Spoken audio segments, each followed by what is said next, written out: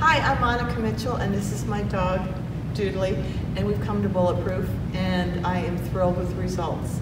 She's been with them for two weeks, and all the commands I could never teach her before, she's now mastered. I'm the one that has to be the student now.